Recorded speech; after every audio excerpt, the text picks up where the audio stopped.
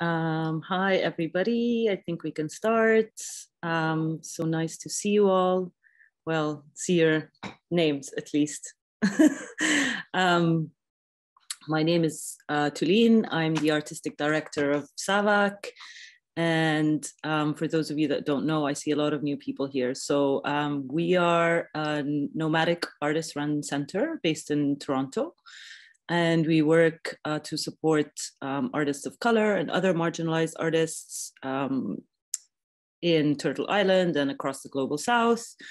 And we're very happy to be hosting uh, the Black Indian Ocean series by artist Hiba Ali.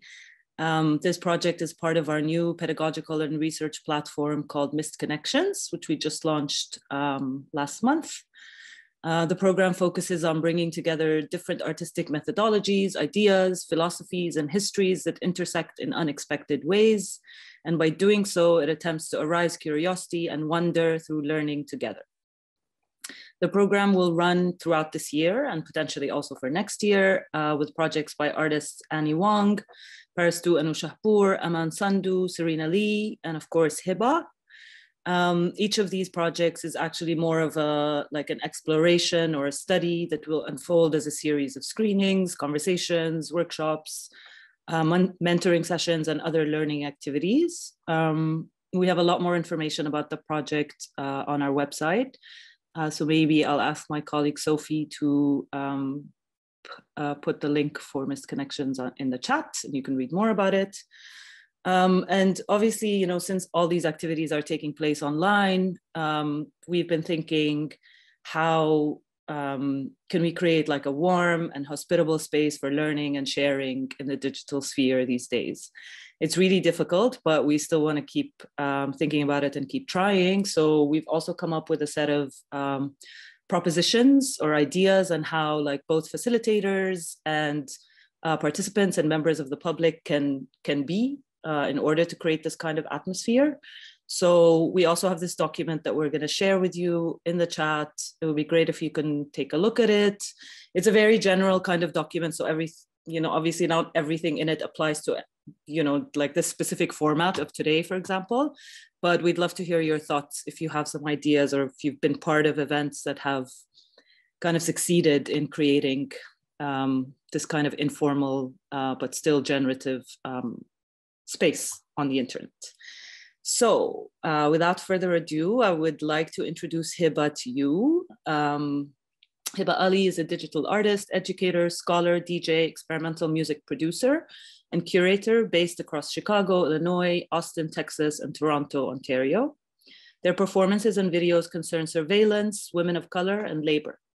She studies geographies of East African, South Asian, and Arab communities across the Indian Ocean region through music, cloth, and ritual. They conduct reading groups addressing digital media and workshops with open source technologies. She's a PhD candidate in cultural studies at Queen's University in Kingston, Canada. They're an assistant professor of art, new media, artist slash feminist art discourse at the College of Design, Art and Technology, University of Oregon in Eugene, Oregon. She has presented their work in Chicago, Stockholm, Vienna, Berlin, Toronto, New York, Istanbul, Sao Paulo, Detroit, Windsor, Dubai, Austin, Vancouver, and Portland. They have written for C Magazine, The Scene Magazine, New City Chicago, Art Dubai, The State, Van Magazine, Zora, Medium, RTV Magazine, and Topical Cream Magazine. So I will uh, pass it on to Hiba today, who will introduce our guests. Welcome to all of you. And I just want to quickly uh, mention that, you know, we have an, enough time at the end this time to um, uh, take questions and answers from the audience. So please feel free to like put in your questions as the event rolls. If you think of something and I can read them out to our panelists at the end of the event, or if you prefer to um, read, like speak out your question yourself, then that's also possible. So Thank you and Hiba. Thank you, Tholene, for the uh, generous introduction. Um, and uh, I'm excited to start our um, second screening for the Black Indian Ocean series that visualizes the histories and futures of African descent communities in the Indian Ocean region through film screenings and generative pedagogy. With each event, um, as with uh, our event today with Dr. Sheila, Sheila S. Walker, um, there will there'll be a reading and or media related um, item released um, that is available um, to our Substack and also through our online platforms on social media. Um, and so to, for today's screening, we'll be uh, screening uh, Dr. Uh, Dr. Sheila S. Walker's documentary, Familiar Faces, Unexpected Places, A Global African Diaspora, that examines the continued presences and culture practices of the African diaspora in the Americas, in the Pacific Ocean, in the Atlantic, and in the Indian Ocean. So we're really thinking through global African descent communities, uh, cultural practices, and linking through um, the body of the ocean. Um, I, so shortly I will um, screen the um, video and pending after the screen, there'll be conversation between ourselves as well as you all. So, um, and in the meantime, as Tolene has um, directed, do leave your questions in the chat. Um, joining us today especially is Jan Janelle, and I will go ahead and read both of their bios now. So Janelle is, the, is, a grandchild of the Great Migration, a Midwestern with Southern inflection. Her practice is rooted within familial and communal aesthetics, looking deeply into bridging self and time as an act of placemaking, while using modes of collage, found objects, film, food, and photography. Janelle has programmed film screenings at Filmfront and 6, 6018 North and we've known each other um, for a long time um, uh, because of Chicago. Um, so shout out to Chicago. Um, next, I'd like to introduce um, Dr. Sheila S. Walker, PhD. Um, uh, she is a cultural anthropologist and documentary filmmaker. and she has done fieldwork, lectured, and participated in intellectual and cultural events, in most of Africa and the global African diaspora, as you will surely see. Um, and it also was lovely detail, lovely, lovingly detailed in um, the article that um, goes along with um, today's event um, of her travels and her research. She is ex an executive director of Afro Diaspora Incorporated, the goal of which is to educate the public about the global African diaspora.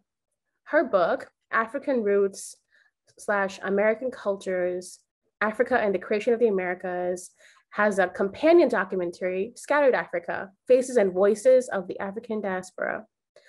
Her book, I'll do my um, best um, uh, Spanish uh, speaking here. Her book, Conocimiento desde Adentro, Los Afro-Sudamericans hablan de, de sus pueblos y sus historias, con Conocimiento desde Dentro, o Os Afro-Sudamericanos falam de su povos e sus historias, slash, knowledge from the inside, Afro-South Americans speak of their people and their histories. Um, I also said the title in Portuguese for those who are wondering.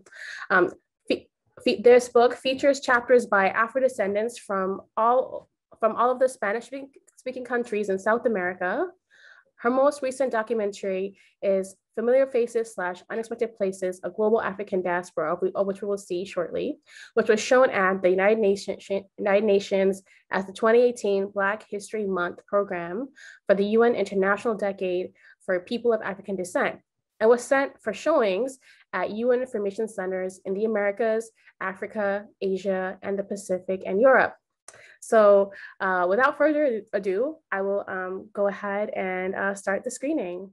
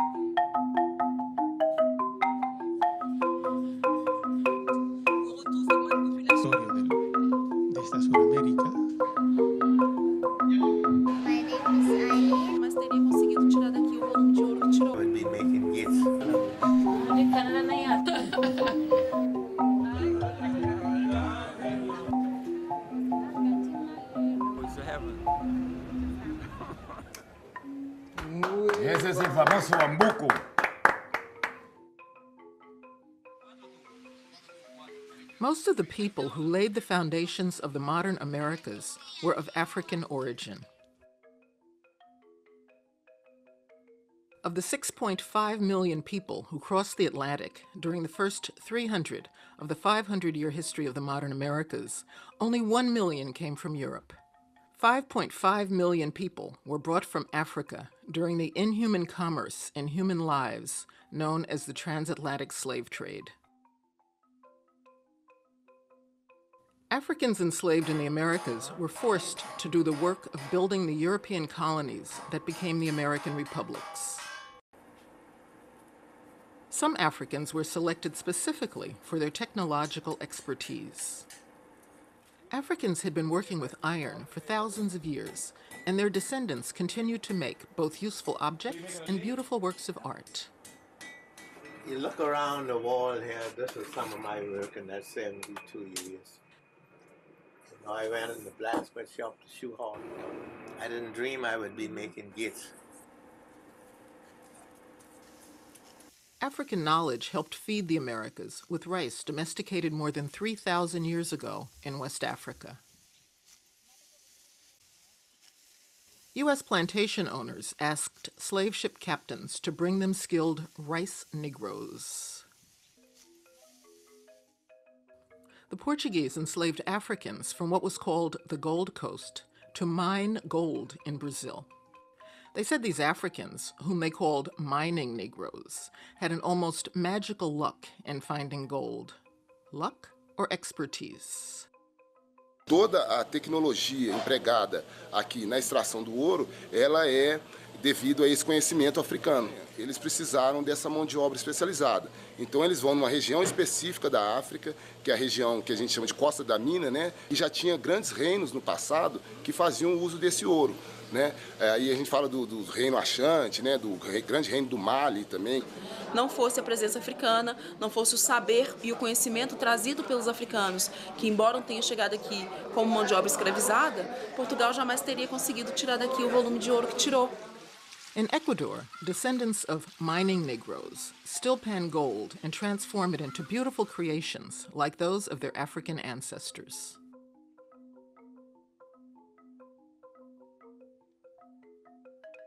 By the end of the 19th century, 12 to 15 million Africans had been scattered throughout the Americas.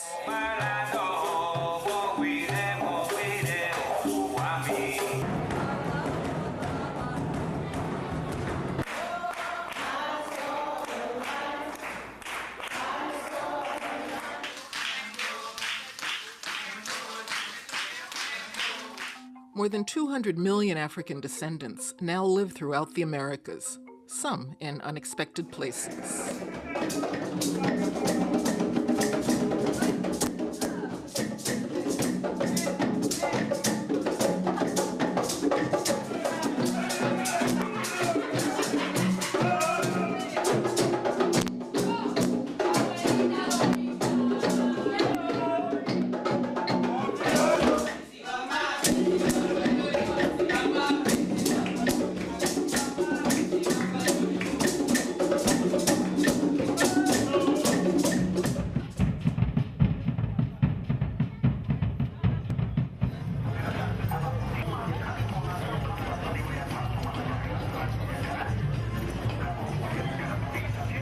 Los afros ya estamos, estamos visibilizándonos, ¿no? Porque obviamente habíamos vivido siempre desde cuando la colonia, pero estábamos como cultos, no, no, no estábamos eh, mostrando nuestra identidad.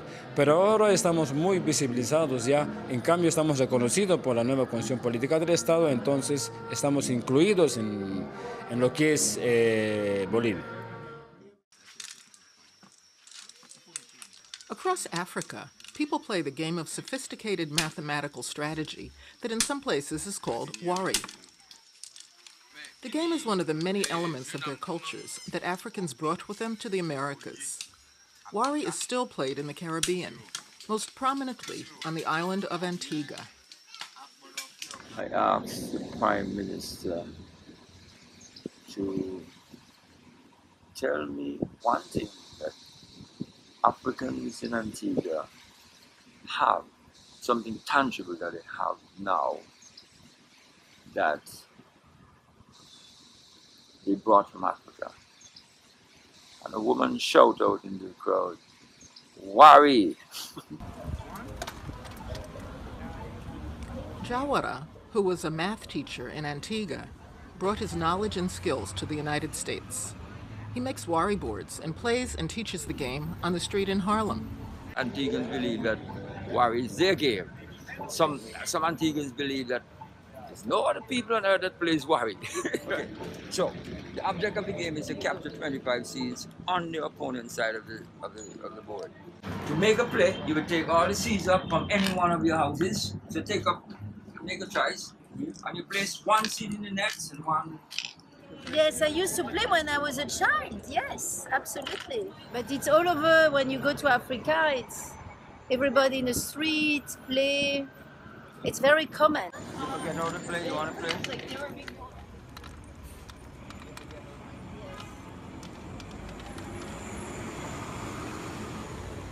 Ah, you made it. Yes, of it's course. a counting game. That's why everybody in Africa play this because it's very smart. Um, Antigua is the only place where the players are buried with this board. When they died, they made sure that they took one of these um, Wari boards to heaven. Almost half of the Africans who arrived in the Americas came from the Central African region of the Kingdom of Congo. And some African diaspora communities perpetuate Congo royal pageantry.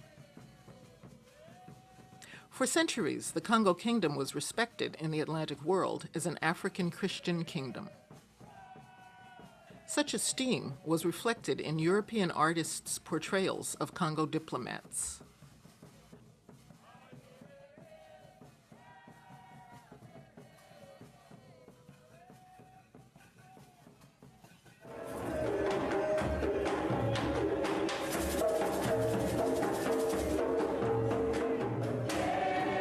The Americas, in spite of slavery, African descendants perpetuated memories of royal traditions from the Kingdom of Congo. This reenactment of a 19th century Congo ceremony begins with a contra dance from European royal courts.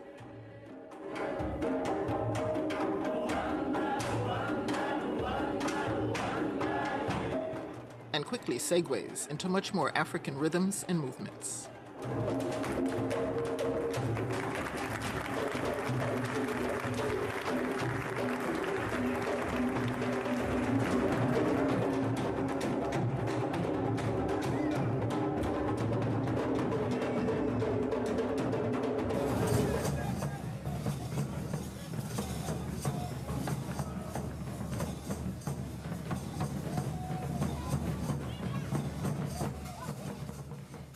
Afro Brazilians in the state of Minas Gerais portray the pageantry of the royal courts of the kings and queens of Congo.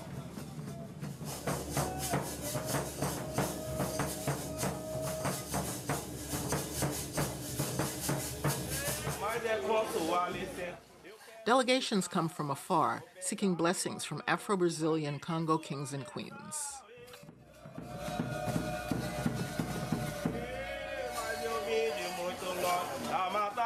A rainha de o povo maçambiqueiro.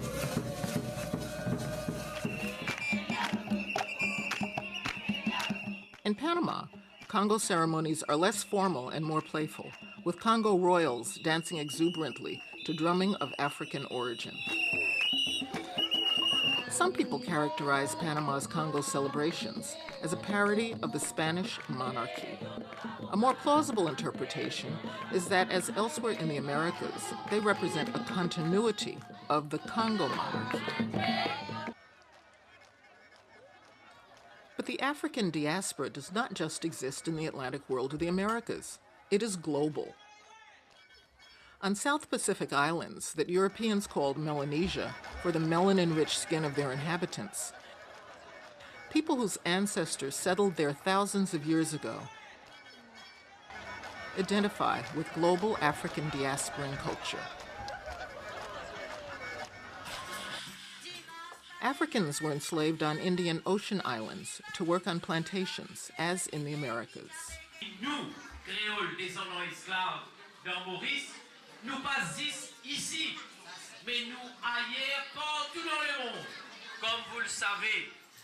L'esclavage, avec l'esclavage, nous avons, le peuple noir a été éparpillé éparpillés à travers le monde, que ce soit aux Caraïbes, en Amérique euh, ou ailleurs, à Maurice, dans les îles de l'océan Indien.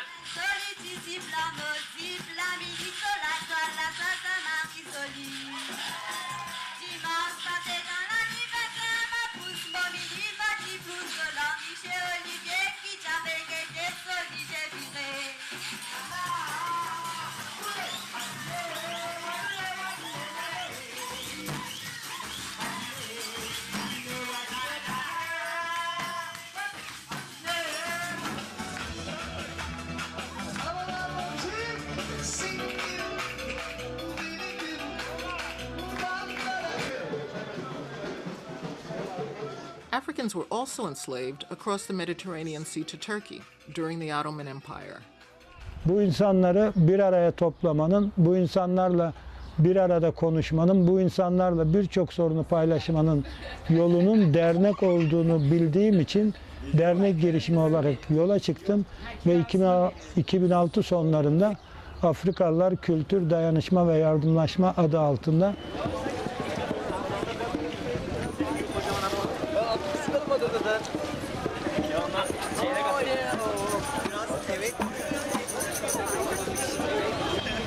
Arkadaşlar 7. Dana Bayramı başlamıştır.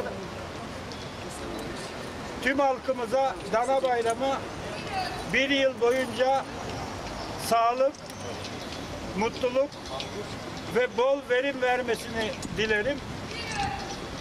Herkesin Dana Bayramı'nı kutlarım. Bravo.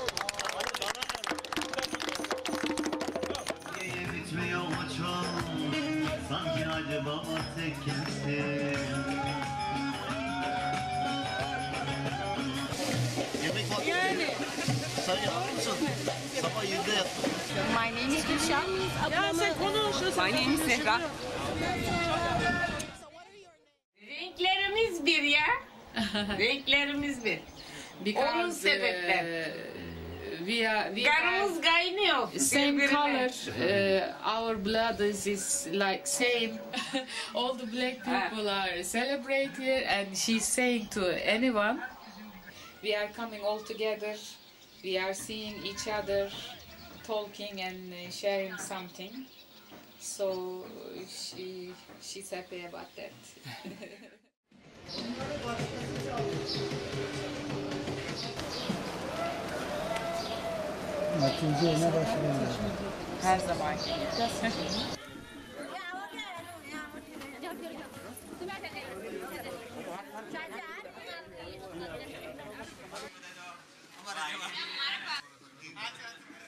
India offers a variety of African diasporan experiences that contrast with and complement those of the Americas. Some people are come from Sudan, some people are come Ethiopia. Africa, my father told me that they came from Sudan. Now my father's fathers, grandfathers, they're all from Africa. Now they live here. Here we have become like Indians now. So many cities are India, in India. We are uh, African Indians. Tens of thousands of Afro Indians, known as Siddis, whose ancestors came from East Africa, form distinct communities in several states.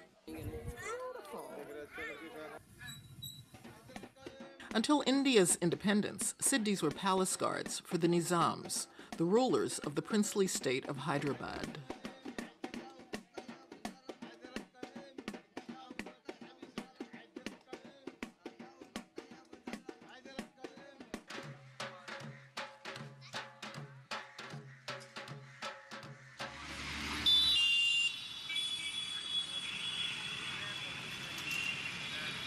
In Ahmedabad, in Gujarat, the Sidi Saiyyed Mosque, known for its lacy carved stone windows, bears the name of its 16th century creator, who came from Northeast Africa.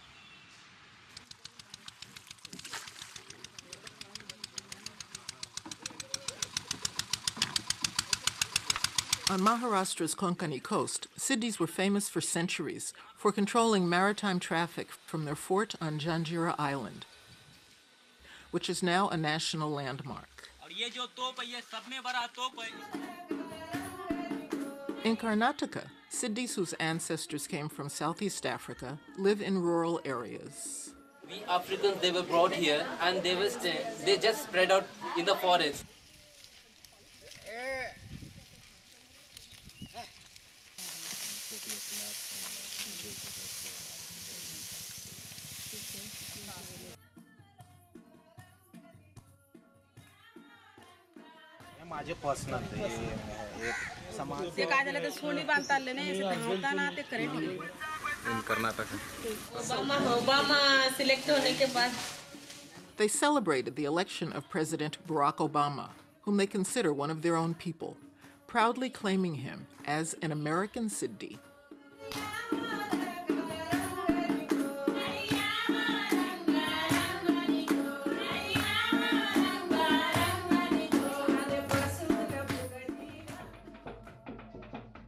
Wherever they were enslaved, Africans and their descendants resisted bondage.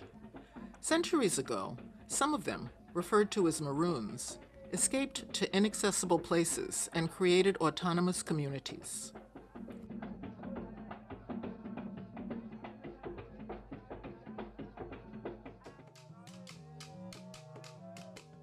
Haiti's citadel is the world's greatest monument to the triumph of an enslaved population. Haitians defeated Napoleon's army, the most powerful army in Europe, to free themselves and create the world's first independent black republic and the first government to outlaw slavery. On Mauritius and Reunion Island in the Indian Ocean, people enslaved by the British and French escaped to remote highlands to form free communities in rugged environments. Je pense que le vrai cirque de, de marronnage à La Réunion, c'est quand même le cirque de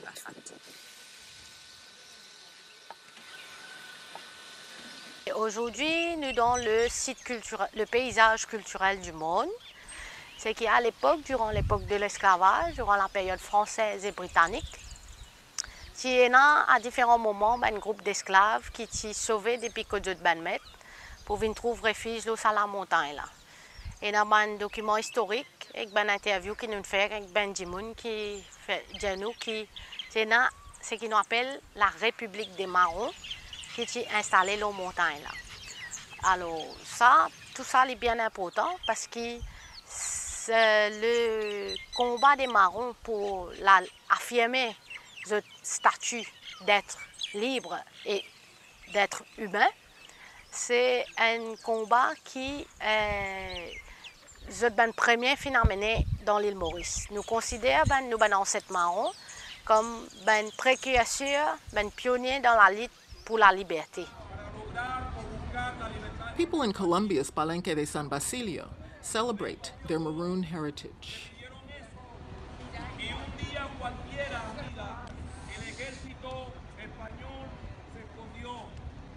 líder fundador de los palenques, no solamente el palenque San Basilio, sino fue el hombre que junto a entre 37 y 37 hombres y mujeres que fueron desembarcados allí en la ciudad de Cartagena, huyeron hacia los montes y fundaron el palenque San Basilio.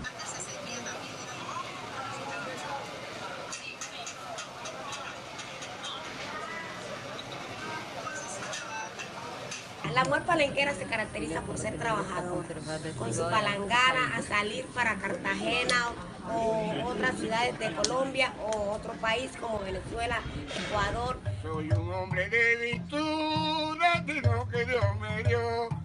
Hay hombre mejor que yo y hay mujer mejor que tú. The marimbula is a version of the Central African instrument called mbira, sanza, and other names. Voy a morir, pero-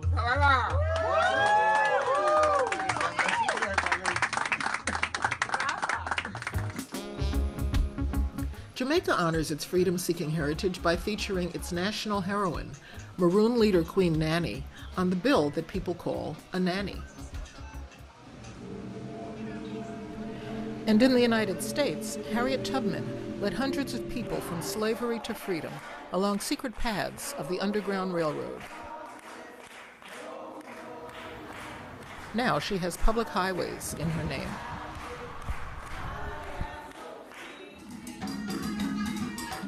Spirituality is the realm in which African diasporan communities have best maintained ancestral worldviews and behaviors. In Salvador, capital of Brazil's state of Bahia, African divinities, the Orishas of the Yoruba people of Nigeria and Benin in West Africa, characterize the city's cultural and spiritual life. In spiritual ceremonies and secular performances such as this one, the Orishas dance cosmic choreographies, portraying their roles in nature and human life.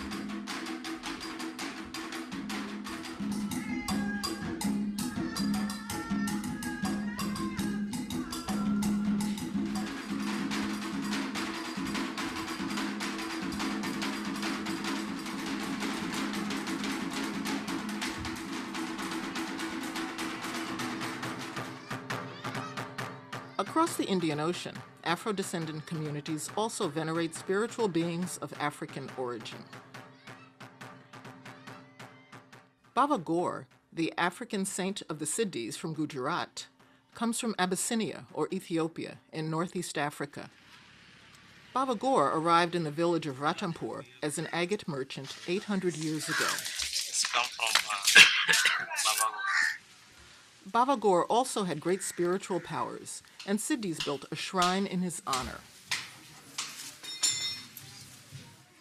As guardians of the shrine, they share Baba Gaur's blessings with fellow Siddis and with other Indians.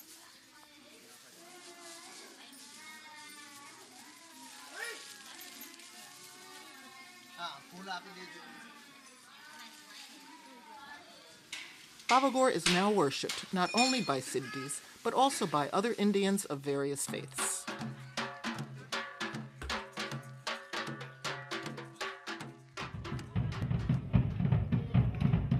Because Iberian Catholics dominated the enslaving of Africans in the Americas, several Afro descendant communities worship black Catholic saints. Patron saint of Palermo in Sicily, St. Benedict's parents, enslaved in Italy, were from Ethiopia. Como somos de la diáspora africana, entonces queremos conocer también las festividades que cada pueblo o región o territorio del, de esta Suramérica festejan a sus santos negros.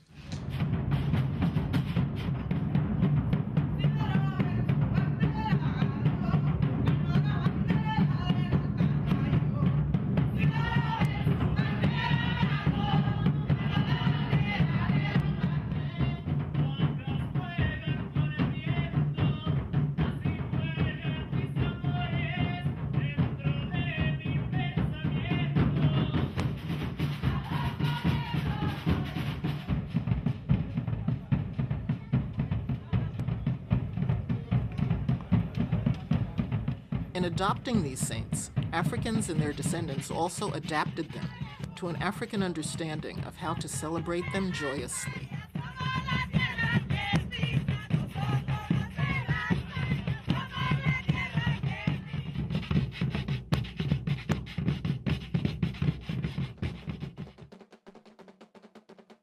Balthazar, also from Northeast Africa, was the African of the three kings who the Bible said took gifts for the birth of Jesus. Es un santo negro, co- como dice ella, como nosotros, que, eh, que, que identifica en realidad porque eh, es un santo que nosotros consideramos que es un santo de los afrodescendientes. No puede ser de otro color, sino como nosotros. In the community chapel, Balthazar carries an incense burner representing his gift of precious incense. Another segment of the Afro Paraguayan community called Kambakwa, their name coming from the Bakamba people of the Republic of Congo, celebrates a different version of the saint. El santo negro, como ellos decían, que es San Baltasar. uno de los tres reyes magos. Hace milagros. Hay gente que si ya le pidieron y le cumplieron el milagro, por ejemplo, si alguien está enfermo, le, le pide y le, le, hace, le pide una, un milagro y le cumple una promesa que se recupere esa persona. This Balthazar carries not an incense burner, but a drum, called by the Central African Bantu term candombe, that also designates the community's music and dance. Le gusta todo lo que es el tambor, el baile, todo eso le gusta.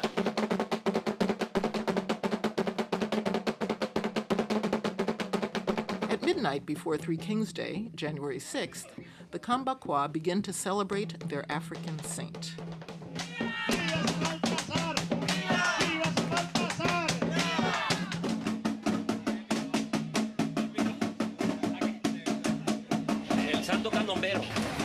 Siempre es la fiesta de los negros. El santo de los negros es, candombe. The Kamba Cuá also organize an annual festival attended by thousands of people at which they honor their African saint.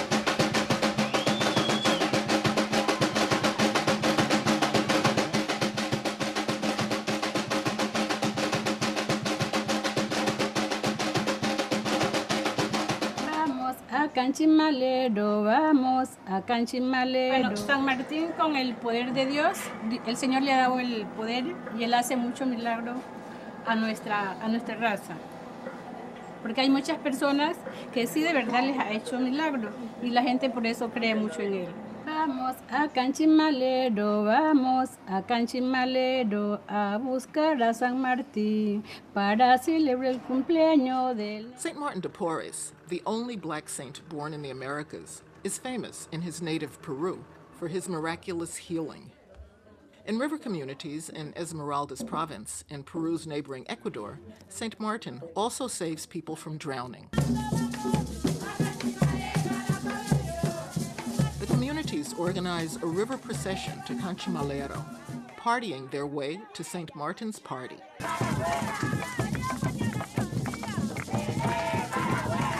Como las balsas hacen como forma de concurso, cuál es la mejor balsa, cuál es la que mejor tiene mejor presentación.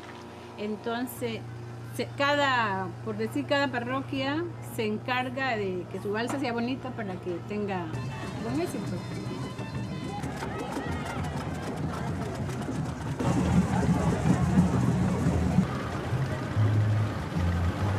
The usual quiet village of Canchimalero explodes when thousands of people converge to celebrate their saint.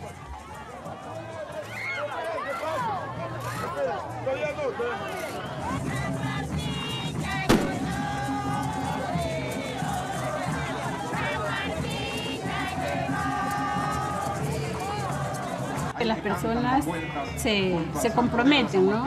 Por algo bueno que les haya hecho, por un milagro. Visto, Yo había viajado en muchos países en África, bastante. Pero la vida, celebrar con alegría, eso es típicamente africano. Esta manera de vivir con la fiesta, con la alegría, eso es puramente africano, la danza. I'm Sheila Walker, and I'm a cultural anthropologist. My field research with communities of African origin around the world reveals ways in which people, knowledge, and skills from Africa became foundations of new societies. It highlights how African diasporan communities transformed memories of life in Africa to create dynamic cultural forms that continue to enrich global civilization.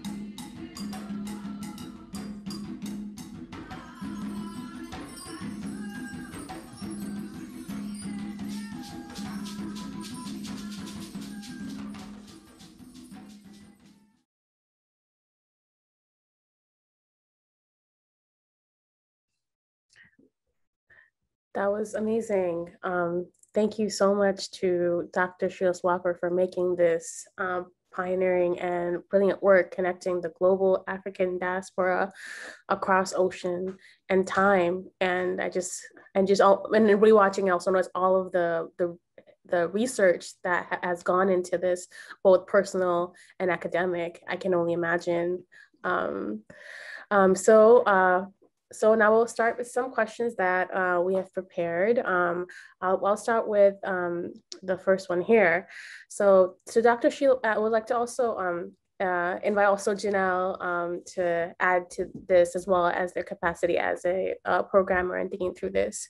So uh, what influences, um, Dr. Sheila Walker, what influences you uh, led you to the work of culture anthropology and why was it important for you to connect the global African diasporas across the Indian, Indian Ocean, Atlantic, and Pacific Oceans? Um, so, yeah. Okay. Well, I always wanted to go places. And I, I just knew that the world was bigger than my little town in New Jersey.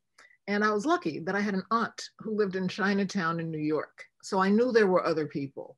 And I knew that there were people who looked different and who ate different food and who had different language. There's a lot of writing in Chinatown. And I was learning how to read and write, and I couldn't find any of the letters I knew. So I was just intrigued as a four year old. And my aunt didn't have kids and didn't have a television. So my big screen television was the window looking out on Chatham Square with all those interesting people. Um, so I wanted to go to China, but you know, I was four. So I couldn't go. And uh, I chose to go to a college that had a junior year abroad program so that I could be guaranteed that at some point I'd get to go someplace. And uh, the junior year abroad program was, of course, in Europe. Uh, at that point, you know, why would anybody go anyplace else? But before going to France, of course, I found out about the Experiment in International Living that had a program that summer in Cameroon. So I had an alternative to Europe. And just to make my experience more challenging, um, I went to the, I was in the French speaking part of Cameroon, so I used my best college French. that was a big challenge. But so that's how I got to go someplace. And at that point, we US African Americans were being told that we had no culture. And we were the only ethnic group in the, the United States to have no culture. Well, I didn't really like that. Uh, and fortunately, while I was staying with this wonderful family in Cameroon that was very proud of their culture, very knowledgeable about their culture, and their culture is very rich. I was with the Bamoun people in the capital of their kingdom. And so I'd never met a king before. You know, we didn't have a lot of those in Jersey. Uh, and the father of the king in question had created a writing system for his language, had written books in his language. And right now I'm trying to read one of those books, not so easy. Um, and so there, it was a very rich culture. It had two museums in this little town in Africa. So this was the era of Tarzan, and everything I experienced had nothing to do with this Tarzan reality. Mm-hmm. I um, experienced cultural stuff that I thought, hmm, I recognize that. And so the fact of living with this African family when I was 19, so therefore open to new experiences, convinced me that, oh, I had been lied to. You know, we did have a cultural heritage. And I met an anthropologist and he, what he was doing sounded like the way I wanted to travel. And so I had thought, well, you know, I'll go, I'll study for uh, political science and I'll join the US diplomatic corps and that'll be how I'll travel. I never really understood political science. I was looking for the people and the culture and, you know, that's not what it's about.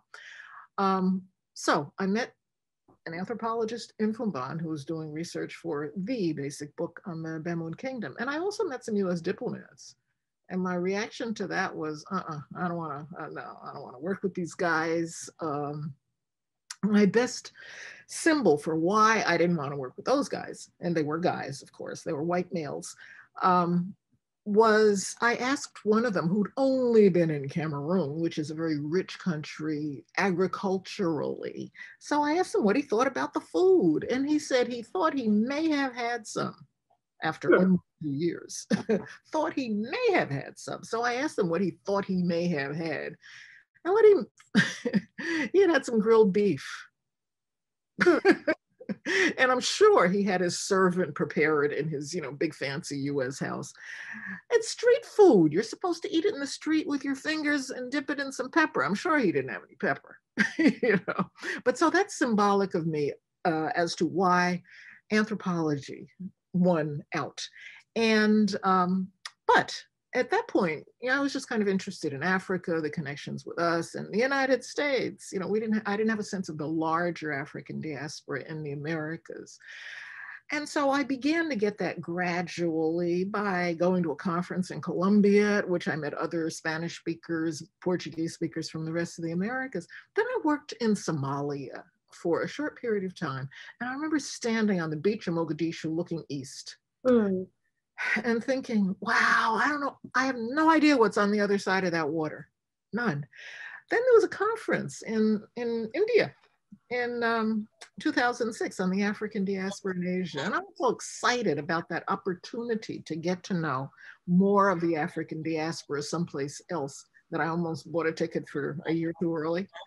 But that was, you know, that's where I got the other pieces of the African diaspora, access to the other pieces. And um, so I went to several places in India and um, I met Beheroze, who's on the, on the call and who was nice enough to take me to some places in India on that occasion and on another. Um, I also met people from Turkey, from uh, the Indian Ocean Islands.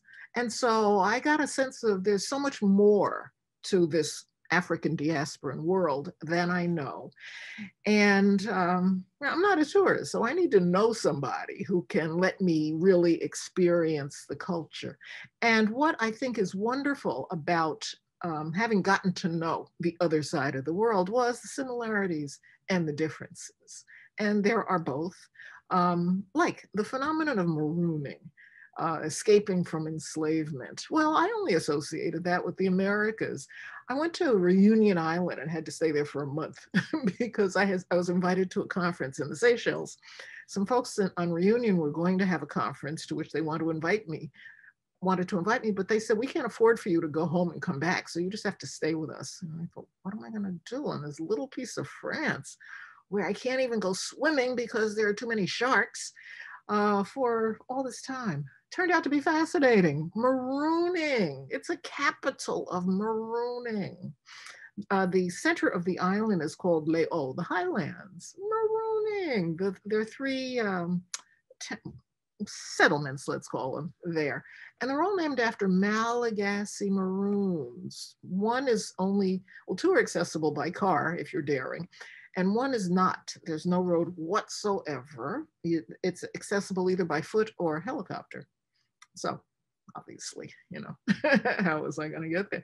But it's called Mafate, which in Malagasy, um, or what uh, a Malagasy language means fatal. Like, look, we escaped uh-huh. here. Don't even try to come get us, okay? it will be fatal. really reminded how marooning really ties ties the global African diaspora from the Americas um, to the Indian Ocean as well, uh, especially because of the history, I believe, in, uh, in Karnataka of um, um, African descent communities living in the woods um, and how um, it's really a, a global pull for African descent communities for, for freedom and what that what that means. I, I want to um, uh, also give Janelle the invite to uh, weigh in and uh, yeah.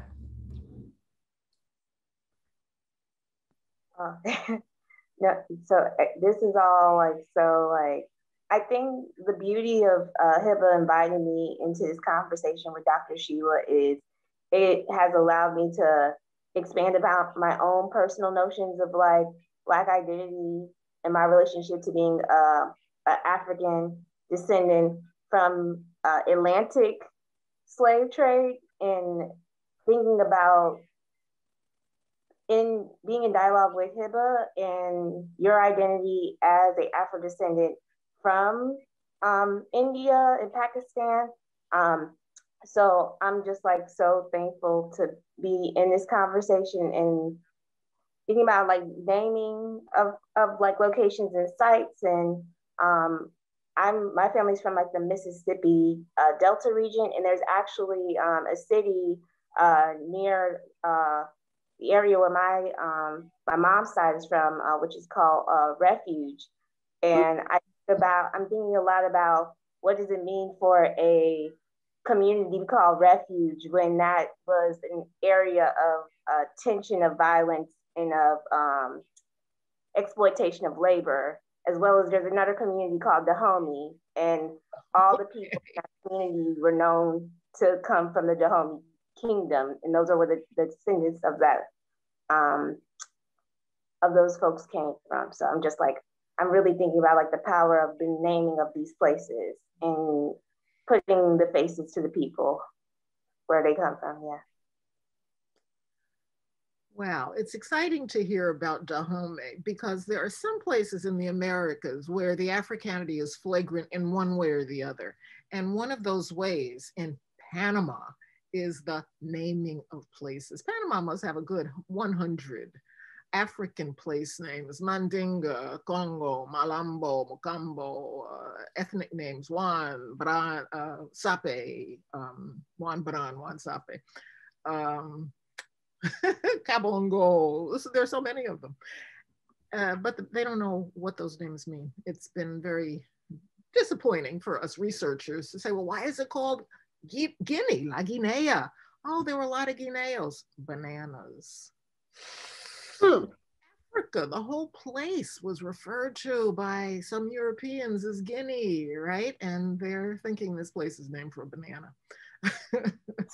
That's a really important point about uh, locating names and the histories that are attached to naming and terming, and what becomes sort of like the mainstream, you know, definition, and what becomes this the sort of definition at the margins, and pulling from the margins and centering and centering what what those definitions are, and that really dovetails into uh, the next com- uh, the next question we have prepared. Um, uh, why in, in your travels and why uh, what have you witnessed in terms of cultural anthropology and ideas on decolonization of the, the practice? Because there's like older you know roots etc to what the field is. And so I, I would be i would love to learn more about how um, cultural anthropology in relation to decolonization practice operates for you for you sheila Well, cultural anthropology remains to be further decolonized. It is a colonial science that was characterized by Kathleen Gough as the child of imperialism and the handmaiden of colonialism. Had I known that, I might not have been one. But I figured that, you know, we could use it for, I mean, the, the tools are fine. You know, it's the the worldview that's a problem. But we could use the tools to learn about our about ourselves for our own reasons. And I was part of the founding of the Association of Black Anthropologists. And we created a newsletter that we called News from the Natives because we, you know, once the real anthropologists couldn't travel around the world so easily in the new decolonized countries, they were not so welcome to go there and define somebody else's reality. So where did they find some new natives, some nearby natives, African American communities and major mm. cities with big universities that owned land in those communities? I went to the University of Chicago. The natives were two blocks away. You know, mm. But so I learned that I was a native. I was to be studied. I wasn't supposed to study other folks. And uh-huh. my dissertation advisor, when I told him I would like to do research in Africa or someplace in the African diaspora, because that's what interested me. Plus, I thought that uh, the people might relate to me better. He informed me that no, they wouldn't. An anthropologist is an anthropologist, and he would have as good a reception as I had had with this family in Cameroon. When I told later visiting that family, when I told them that, they said, What? we received you as a daughter. We would have seen him as a colonizer. so, but um, you know, I found that the tools have been great hanging out with people and asking them questions and trying to learn about their cultures and seeing, you know, with respect to the diaspora, all these interesting similarities and interesting unique characteristics, for example. I mean, India is such a great uh, mirror for the Americas, and that there were in Af- there are what there there are people, um, there were historic Afro Indians who didn't go there involuntarily, who were not enslaved, or if they were, became unenslaved, and became rulers, uh, became people of power. So we need to know that that's one of the possibilities, and we in the Atlantic world also need to, you know, know that we're not the only we're not the only game on the planet. there other ways of seeing this that are enriching and allow us to say, oh, I never thought about that. Wow, well, let's look at things from that perspective. So I think that um, this is such an exciting moment for all this, you know. Uh, and when I thought about all those colonizer statues mm-hmm. being thrown into the river and such, wow, you know. Um, and then I always think about that great philosopher Bob Marley, emancipate yourself from mental slavery. None of our, none but ourselves can free our minds. that he got from Marcus Garvey, but he's saying it. So, yes, that's such an important point that you're making that you're making sheila about subject position because often you know in study even in contemporary times in studies and histories the subject position of the writer or the filmmaker or the artist is so far removed from the communities that they're defining or writing about that often um, the quote unquote studied communities don't even know what is being said until you know not at all first of all or or many many years later and they read that and said i didn't say that that's not what I meant. Um, and so there's, um, you know, and so it becomes a very um, hierarchy based um, uh, exchange that what that that is. Um, I mean, hierarchy is always present, but it's kind of fortified in when the subject person, the person who was doing the research or on the subject is so far removed. And that's one thing I really appreciate about your your work is that there is a connection and and uh, and a goal of not um uh you know you, not centering American ways of thinking through the world um, and thinking through ideas of the global African diaspora that's connected to spiritual practice, practice of belonging and, uh, and community um, through time and space. Uh, and that was really um, powerful um, for me as well. Um, so I don't know, Janelle, if you'd like to add anything, I'd also like to, and I know that, not to put you uh, on the spot, but I know that um, um, G and Jasmine are on the call. So if there's something comes up that do, does strike you to unmute uh, and say something, I welcome that. So I'd like to just uh, invite, invite um, Janelle as well. Yeah, um, I think this has been a conversation that uh, me and Hiba have had uh, personally as well. Just like thinking about like, I think the beauty of having BIPOC people be a part of anthropology or arts or whatever field of study that they choose um, is yes, there's kind of this bridging that happens that let's say the white male wouldn't have with like the Cameroon family, um, that you're kind of able to be in the um, the intermediate person in kind of the experience. Um, and I've been thinking a lot about my own I don't know, like the, the, the Black American experience is oftentimes um, centered when it comes globally to like Black experience. Um, and I'm trying to figure out ways um, in which we can kind of like destabilize that in the sense of like not like hiding, but like uh, ushering people along with us in a sense, if that makes sense. it really does. I mean, the let's see, we have learned that hegemonic attitude much too well. And I don't think it serves us particularly. You know, I was as you were talking, I was thinking of um, this book that I edited. So after editing an initial book, uh, African Roots, American Cultures, Africa and the Creation of the Americas, it was main, mainly scholars who had attended a conference that I organized on the African diaspora in the modern world. And that was just Atlantic world, because that's all I knew then. Well, then I totally lost my mind and did another book in Spanish after I had a whole year of Spanish in a previous century with a group of Spanish speaking Afro South Americans who had no training as researchers. And some of them, you know, their Spanish was not the greatest. And I became an expert in putting accents on words. But I thought, well, why did I do that? Why didn't I just write about them? Because it's so much easier to just write the story than to ask people to write their own story and then you've got to edit it. Who, but my thought was, who am I to tell their stories? You know, I mean, what what would I be doing? I would be telling other people what they told me. Well, why not just facilitate their telling their own stories? And so we called um, the, the first conference Generating Knowledge from the Inside. Uh, Afro South Americans tell their own stories.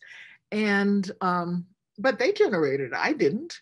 We, uh, I got a grant when I went to teach at Spelman that was for um, HBCUs, historically Black colleges and universities, and Afro Latin, such a strange word, a dead European language.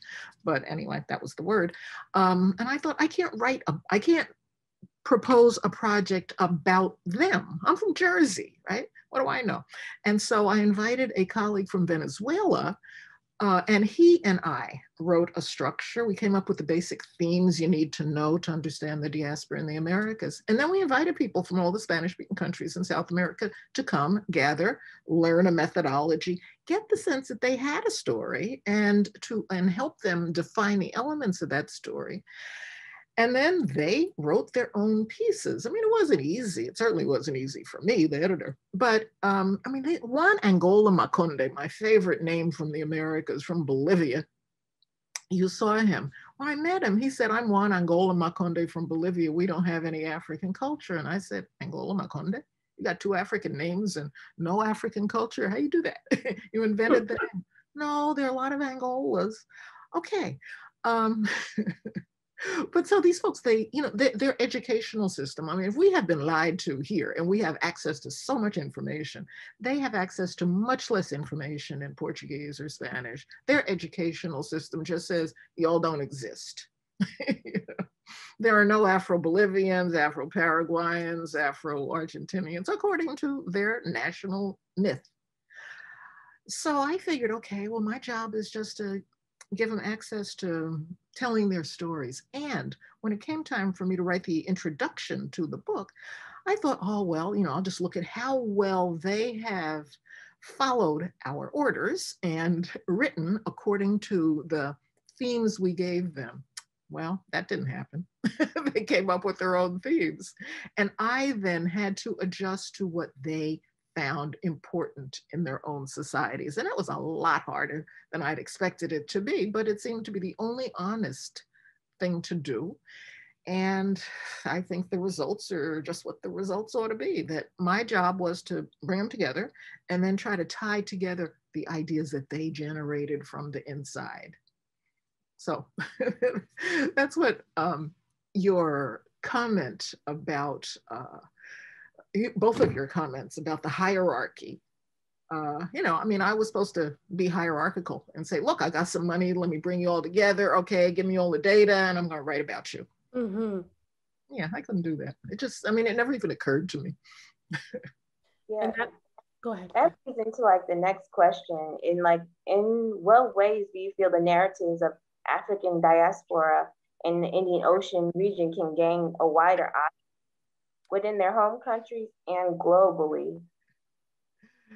Yeah, within their home countries. Well, it in some places, particularly on the islands of the Indian Ocean, the Mascarenes, uh, Seychelles, Mauritius, and Reunion, there are groups that are making an effort to tell their stories in all the islands, like Seychelles. They have a Creole Institute, and Creole is their national language.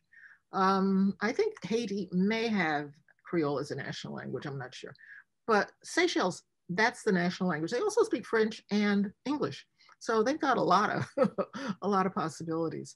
Um, you know, some of those people, as a result essentially of our research in the Americas, are beginning to figure out how to identify cultural elements that they have that they never thought about as being diasporic being of African origin, because obviously they weren't told that.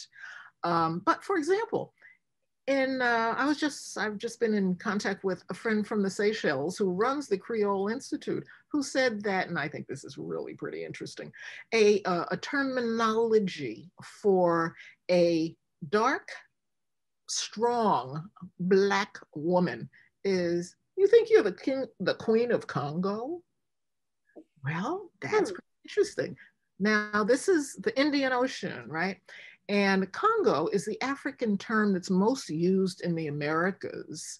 In Panama, for example, there's a fish called Congo, uh, there's a pepper called Congo, there's an ant called Congo, there's a wasp called Congo, as well as rivers, places. And uh, I, I suspect that there are more uses than I know. And I wish I could just ask people, but so many people haven't looked or don't have the lens for to recognize things. And as a result of my first intense African experience and many subsequent ones, and I lived in Ivory Coast and traveled all around in various ways, uh, you know, I can see stuff that if you haven't had experiences, you can't see. You don't have the lens.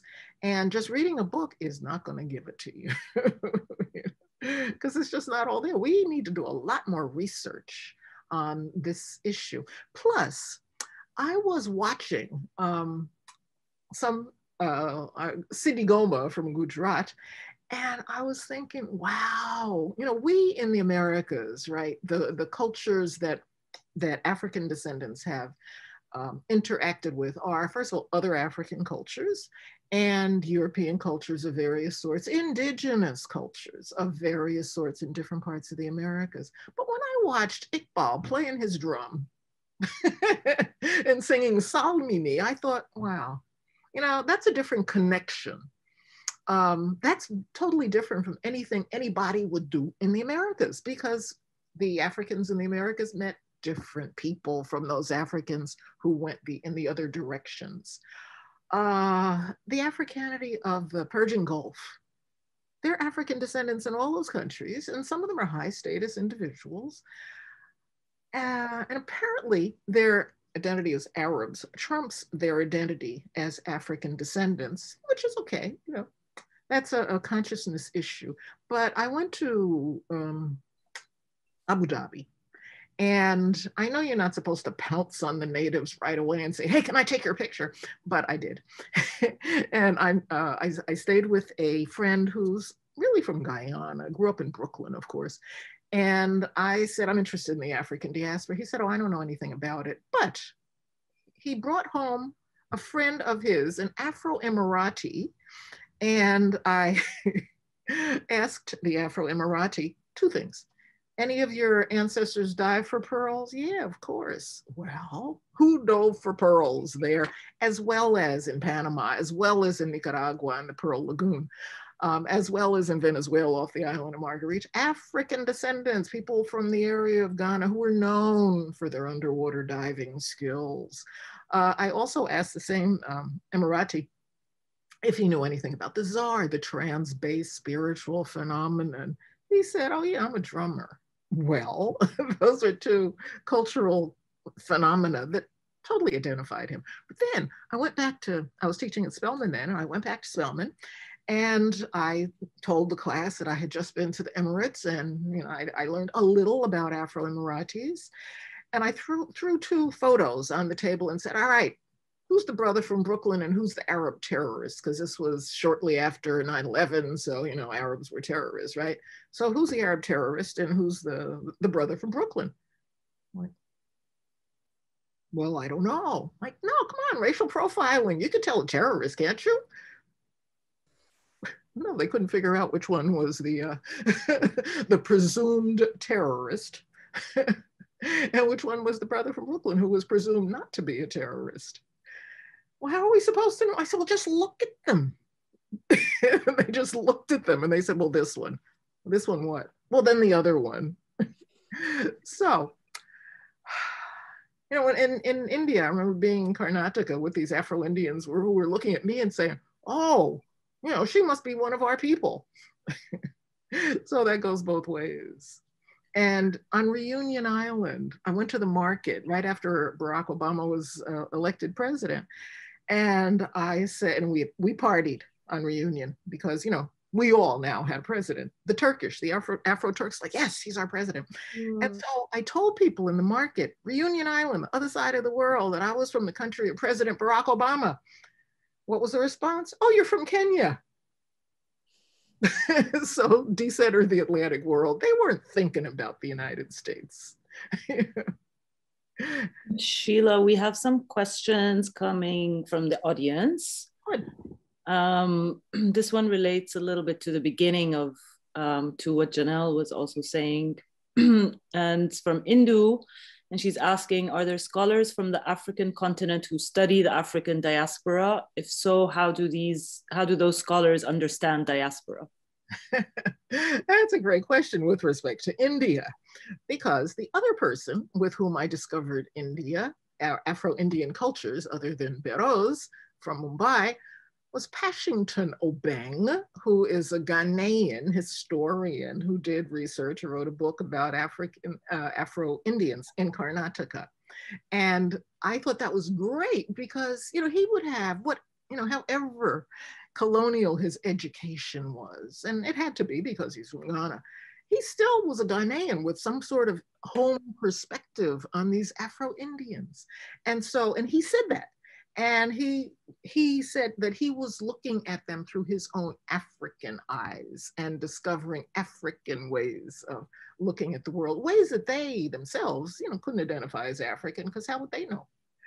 Um, there are uh, you know, there, there need to be more people from you know, across diasporic stuff. you know? yeah. My real desires, there was, uh, unfortunately, he just died. There was a wonderful guy from Benin who, who was very, he was my most diasporic African friend. Um, he had taught Yoruba to people in, this, in the Yoruba spiritual community in Bahia who'd never been to Africa. So he was like their African. And he had some wonderful experiences of his ability to identify cultural stuff in the Americas that somebody like me would never be able to identify because I don't have the right lens for that. But he was at a, um, a funeral ceremony in Bahia, a Yoruba well, sort of Yoruba, because then the religion gets a little more Pan-African. But he was at a Yoruba, what was presumably a Yoruba spiritual, uh, uh, uh, a funeral celebration for someone of high status. And he's, he was a linguist, a Yoruba linguist of Yoruba. Um, and so he could say, oh, oh, now they're singing in Abeokuta. Oh, now they're singing in Ijesha. So different Yoruba dialects he could identify because the different Orishas came from different parts of Yoruba land. And then suddenly he didn't understand anything. And he fortunately was with somebody from Central Africa, uh, Central Africa, a Congo, a Mukongo, part of the Bakongo kingdom. And the Congo said, my turn now. so now they were singing in Bantu languages because you have to sing for all the ancestors. You can't leave anybody out or they'll be mad. Mm-hmm. Um, and I've been in places where I just wished to have the right African. It can't be any African, you know, it's got to be an African who's got the proper knowledge for that place. But I was in a, a village in Ecuador and I just wished I had maybe some Africans from different parts of the continent to recognize things, uh, recognize that fish trap that's called katanga, a Bantu word, uh, recognize words in the Spanish that these folks were speaking. Um, so there's not enough, but there's some. Okay, great. Um, we have more questions coming in, which is great. Um, Mira was asking about the mosque in Ahmedabad, but uh, Beheroze and um, Jasmine are chiming in on that conversation. Okay. So since we only have like 10 minutes left, I'll move on to other questions. This one is from Adeline Favela. Being that culture is hyper present in language and the way people communicate, in your experiences and research abroad, did you find any similarities within the linguistic composition between brackets phonetic, morphological, etc., of these communities of these communities across the diaspora? Well, I hate that I don't speak any Indian language because I'm sure I was missing stuff, except that I remember this word that had to do with hair that sounded like kingari. And I thought, hmm. And I ran that by a friend who's a Mukongo, who said, hmm. there was a similar word in, in Kikongo that had to do with hair. And um, so I think linguistics are essential. Um, because you you know there's stuff that that people are not conscious of but there it is. Uh, i was trying to learn uh, some martinican creole and one of the things i noted was two things that i'm aware of from us african american english. The dropping of the first um, syllable écoutez listen coute uh, demande mande like in african american english i've been buked and i've been scorned. Rebuke. So there's the loss of that initial uh, syllable. The R, the R gets lost in, in uh, Creole, in French Creole in the uh, Caribbean. Uh, dormir, domi. Uh, and then I thought, hmm, well, let me listen with my African American ears. I'm going to the stove. I'm gonna close the door. so the R is lost. And so I'm convinced that there is more of that kind of phenomenon throughout the, the global African diaspora, but you have to have the proper uh, what, auditory lens to be able to pick up those similarities.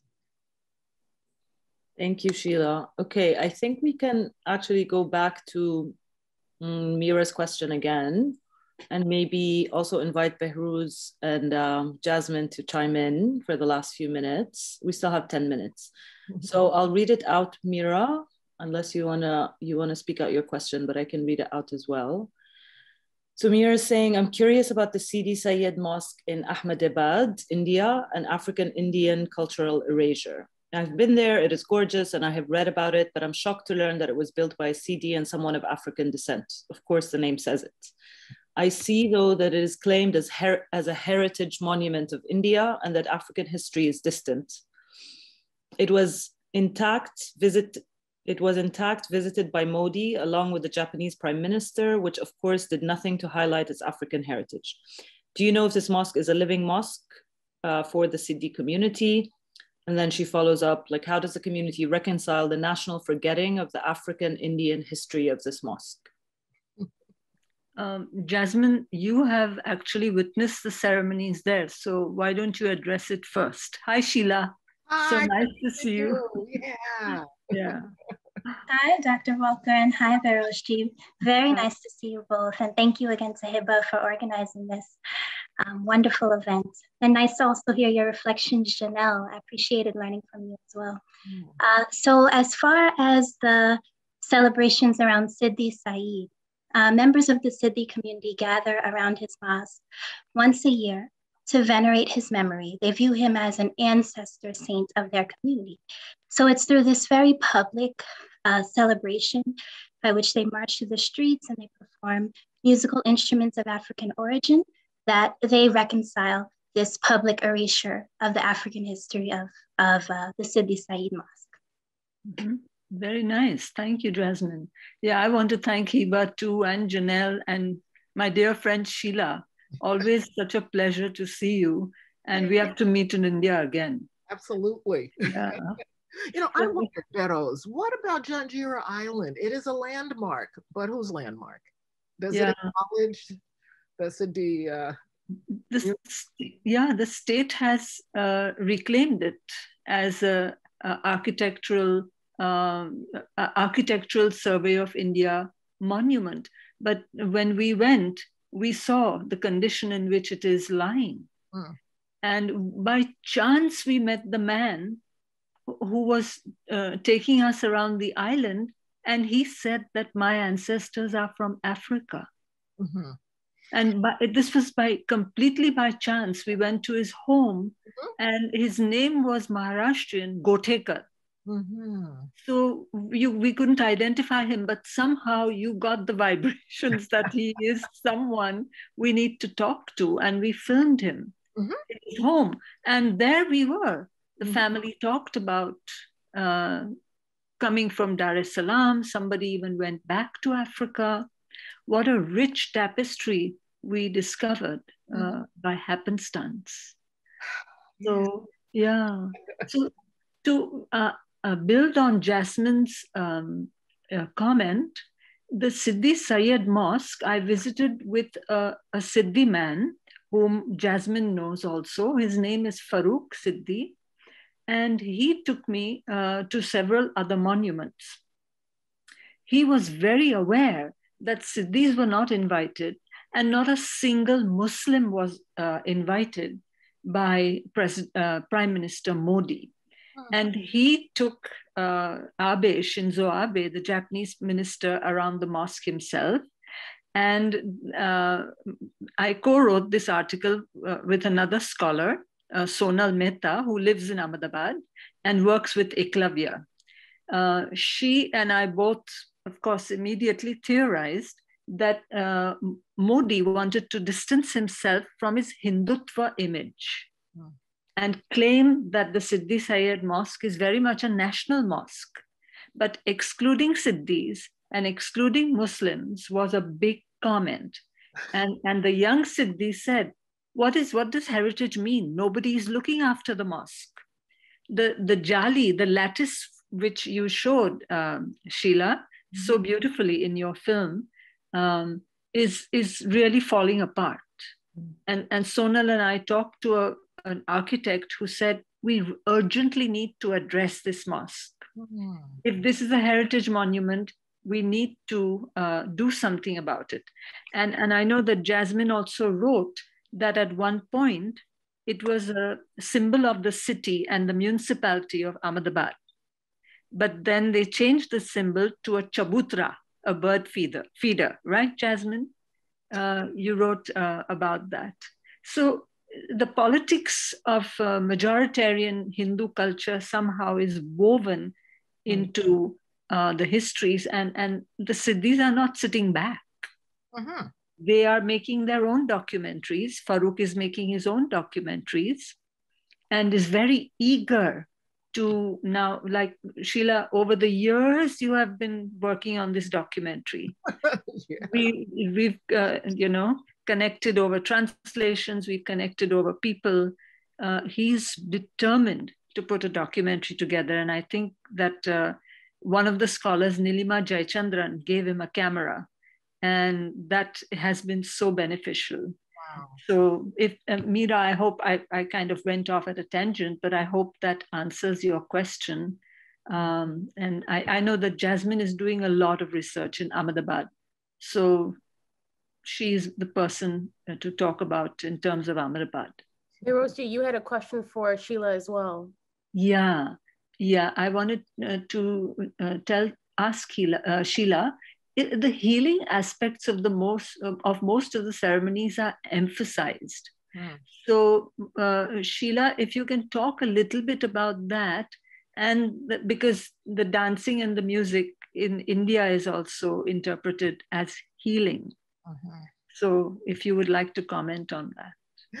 yeah, you know, that's one of the int- well, the the the spiritual trance phenomenon was one of my introductions to the African diaspora when I was about eight and went to a church in Newark, New Jersey, where these ladies got happy, and I wanted to know what is that, and I then got a sense of that it was an African continuum when I went to um, ceremonies for the Orishas in Bahia in Brazil.